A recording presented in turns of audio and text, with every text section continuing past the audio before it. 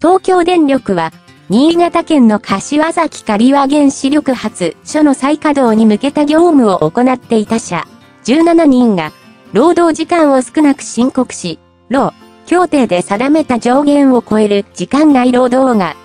だと発表しました。東京電力の発に、見ますと、労使協定で定めた上限を、え、時間外労働が明らかになったのは、社、原子力部門で柏崎刈羽原発の安全審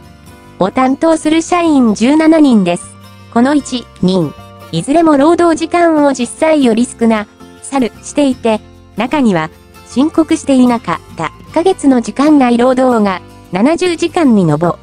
た社員もいたということです。こと、4、2、原子力部門で未申請の時間外労が退化しているという情報が寄せられため、内部調査を行った結果、明らか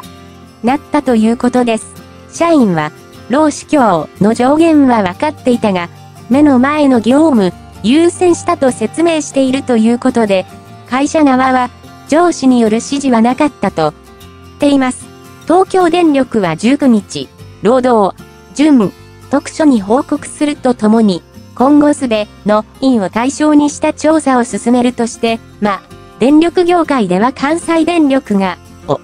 そ1万3000人の従業員に対し、17円近くの時間外、労働の賃金を支払って買ったほか、核燃料サイクル施設を運営る日本原燃でも、302人以上の社員が